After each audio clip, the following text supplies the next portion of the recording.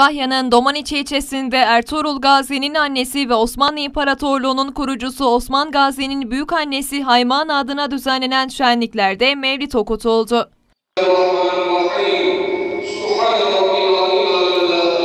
Cuma namazından önce ilçe müftülüğünce Çarşamba Köyü Haymanla Camisi'nde okutulan mevlidde Haymanla ve şehitler için dua edildi.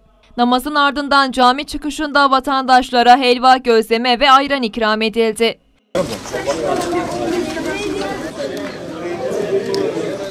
Mevlid programına Domaniç Kaymakamı Hasan Raşit Taşkın, Belediye Başkanı Sahvet Ertürk, Müftü Kemal Akpınar, daire amirleri ve çok sayıda vatandaş katıldı. Haymana'yı anma ve göç şenlikleri kabrinin bulunduğu Kütahya'nın Domaniç ilçesine bağlı Çarşamba köyünde pazar günü 737. kez yapılacak.